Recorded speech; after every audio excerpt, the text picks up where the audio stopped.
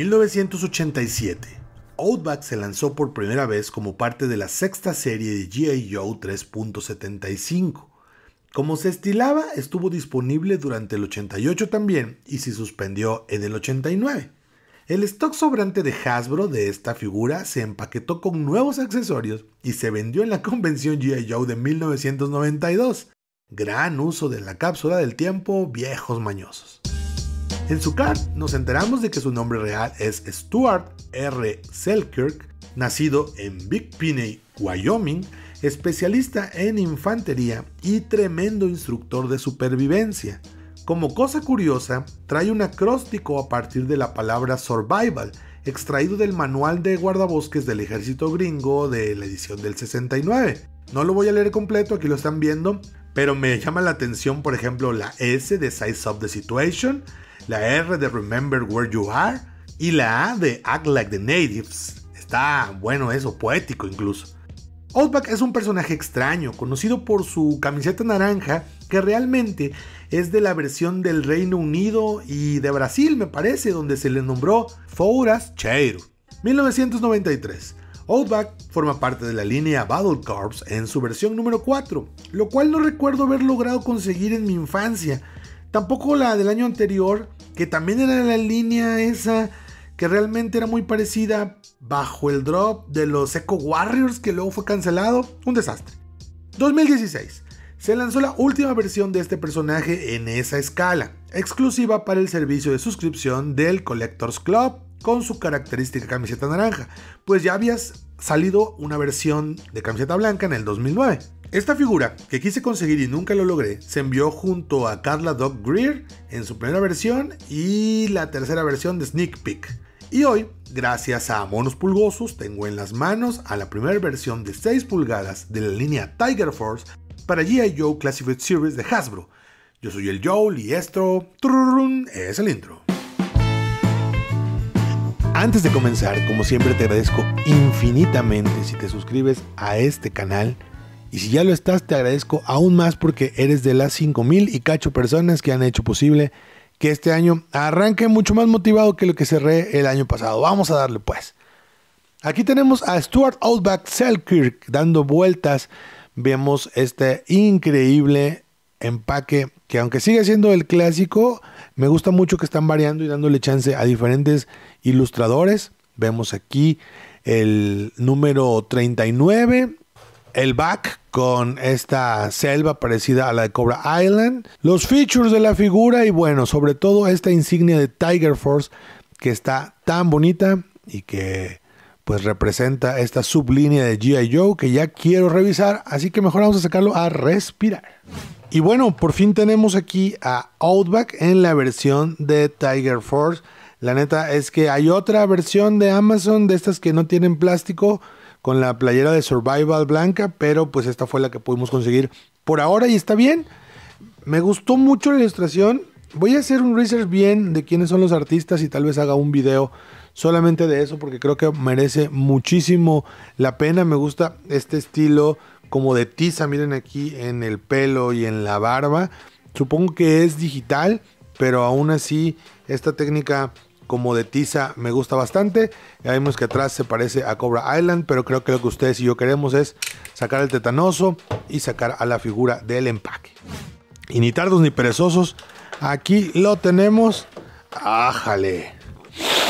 Ah, me gustó mucho más este olor que el de Bazooka por alguna razón. Miren qué chulada de figura. Incluye su mochila táctica de acampar, un pantalón de cargo muy muy bonito ahí con ciertas cosas. Camo este no tiene Tiger Strings, entonces bueno.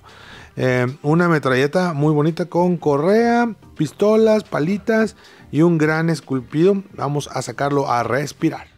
Outback mide más o menos 16 centímetros. Este no está tan alto como Bazooka.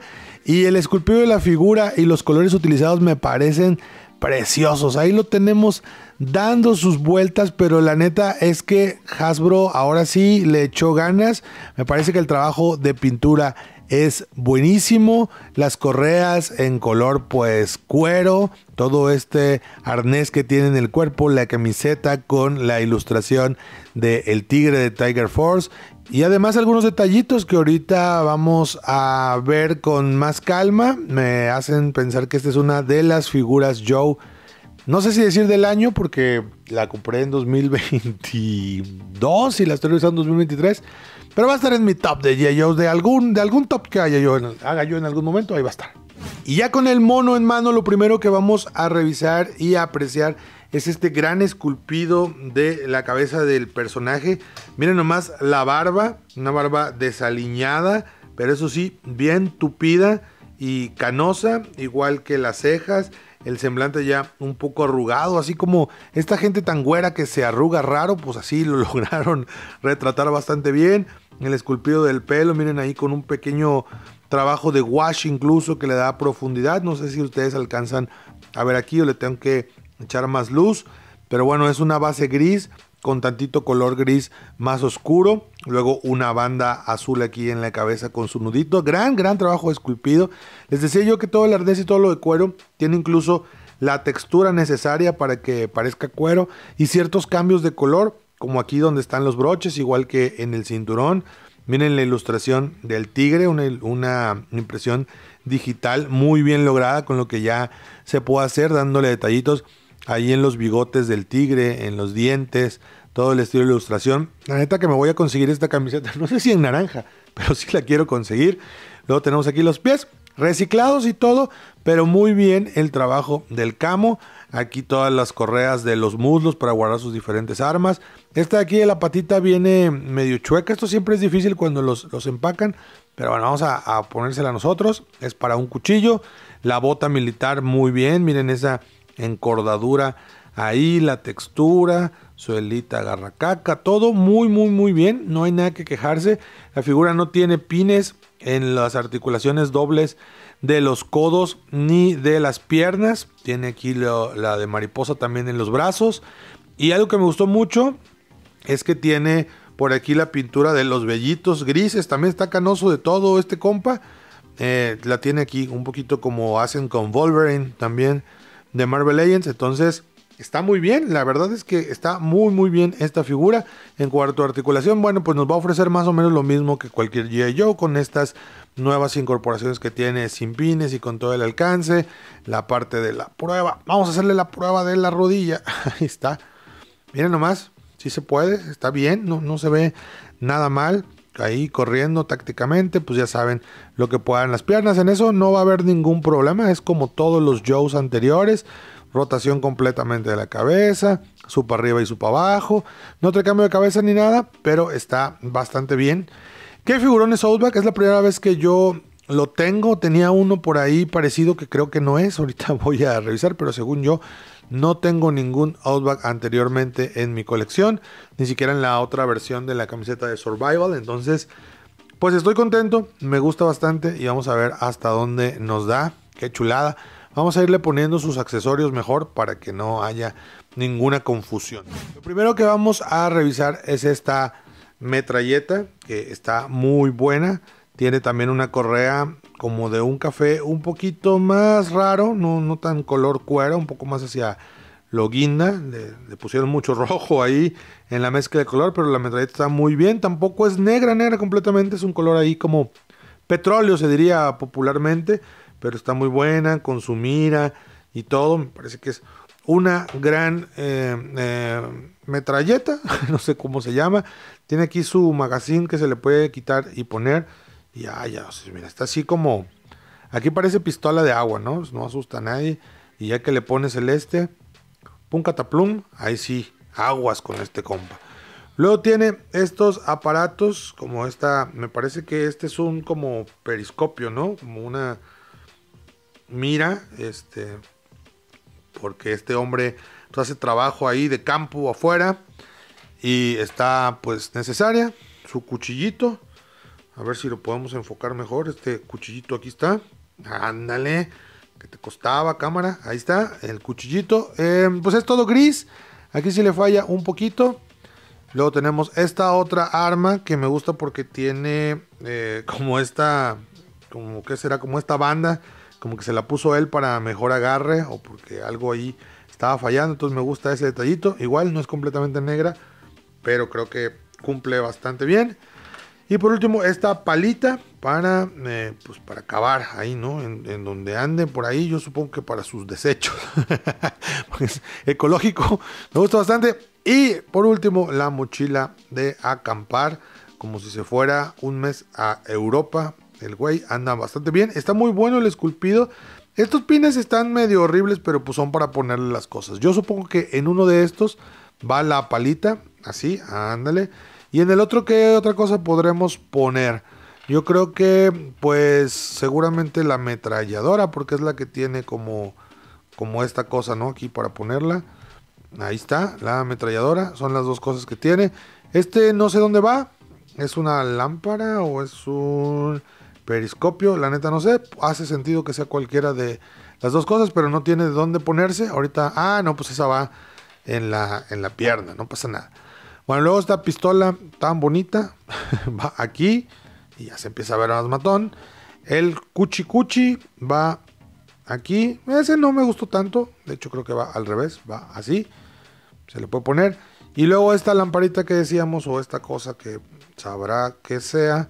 Yo digo que es un periscopio. Pero bueno, esta va aquí o aquí así hacia enfrente para irte, irte viendo. Y ya lo último que hacemos es ponerle su cosito este. Ahí está, míralo. Bien matón. No, pero todavía no. Ahí está, míralo. No. Ah, ya, ya, ya. Es que esta cosa tiene que coincidir los dos pines. Pero yo siento que el pin de la espalda de este compa está demasiado arriba. O sea, tendría que estar aquí. Y lo tiene aquí casi, casi en la nuca. No sé si eso sea un error o tenga una razón. Porque, pues, como decía mi abuelo, las cosas no las hizo un pendejo. O sí. Pero ahí está. Abuelo Fito, tenía razón. Eso no lo hizo un pendejo. Ahí está. Entonces, pues ahí lo pones. Pero sí siento que esto queda demasiado levantado de los hombros por forzar esa cosa. Eh, hay que bajarlo entonces. Pero entonces ahí ya tenemos que estar batallando con el, con el cinturón porque tiene que quedar encima. Ahí está. Bueno, es lo mejor que pudimos hacer. Y creo que sí, luce bastante chido. Está bien perro este güey. Miren qué chulada. Esculpido ahí con estas chapitas. No sé si ustedes lo alcanzan a ver a través de la cámara, pero aquí en vivo está increíble. Se ve muy, muy bien. Y pues ya quisiera yo que me viera yo así a esta edad que tiene este compa. Se ve muy perrón, está musculoso. Me gusta el efecto de la camisa un poco remangada. Las clásicas, este, pues estas manitas de Lego no me gustan tanto, pero bueno, tiene un relojito. Creo que la figura está bastante perrona. Me gusta mucho, creo que los colores y el esculpido. Y también la onda de los accesorios lo hacen ver bastante completo. Uno de mis favoritos hasta ahora. Aquí lo tenemos junto a el Bazookas, los dos de Tiger Force. Y la neta es que sí, sí, sí se ve chingón. Me gusta bastante.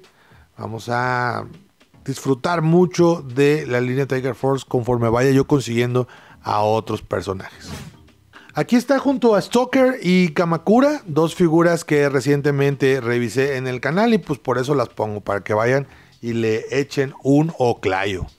Y aquí junto a la banda pesada como es Roadblock y el Gunjo, estas figuras son más altas eh, de la escala de el bazooka y ahí sí se ve el centímetro de diferencia, se ve más chaparrón, pero bueno, unas por otras, se ve muy chido ya el escuadrón de G.I. Joe les decía en el review anterior que ya siento que tengo figuras de G.I. Joe y eso me hace muy muy feliz.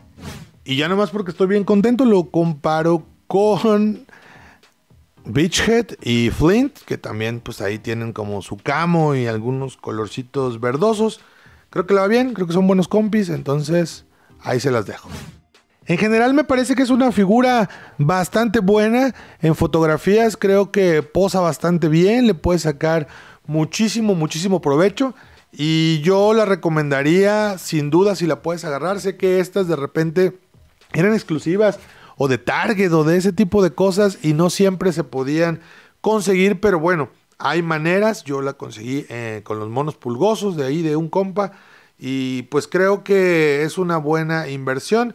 No salieron tan caras, por ahí creo que en Amazon también iban a estar disponibles. Si encuentro el link, se los dejo pues aquí abajo para que ustedes puedan ir directo. A lo mejor los precios de repente suben y bajan, ya saben que así es la onda con G.I. Joe, pero esta línea yo sí la recomiendo. Entonces, Gracias por haber llegado hasta esta parte del video. Espero que te haya gustado. Coméntame qué opinas de la figura, si ya conoces al personaje o si lo quieres tú también pues tener.